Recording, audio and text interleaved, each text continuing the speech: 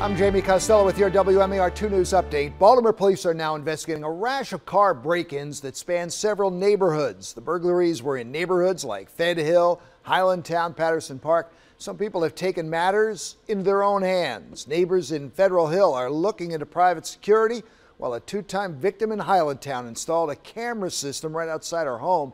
She also makes sure that her doors are always locked. The first thing that happened was I knew something was out of place, and then you get kind of frustrated with yourself. You tell your husband, he kind of accused me of forgetting to uh, lock my doors, and then you start to doubt yourself, you doubt your behavior, and you forget that you're a victim. Well, anybody who has video surveillance, uh, ring systems, or tips, call Baltimore City Police. Try to help them solve these crimes of break ins. And there's a rise in COVID 19 cases among our young adults, and the University of Maryland medical system is now hoping that a PSA will help stop the spread. Health experts say that they are reminding our young people to think twice before engaging in risky behavior. The CDC believes that the increase was likely due to the return of in person college classes even though you might not be affected and you might be very minimally symptomatic, the big thing to keep in mind is that you can still be asymptomatic and carry this virus and subsequently transmit this virus to your more vulnerable, older loved ones, loved family members, and you don't want that burden. And the doctor we spoke to also said it's important to hold others accountable for wearing masks, washing hands, and continuing to social distance. Well, get outside and enjoy some fresh air. All this month, Governor Larry Hogan issued a proclamation Thursday designated the month of October as Walktober, recognizing walking for its health benefits and means of transportation.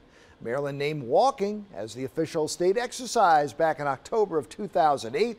This year's sixth annual Walk Maryland Day is next Wednesday, and groups are organizing walks all across the state with social distancing and face mask requirements.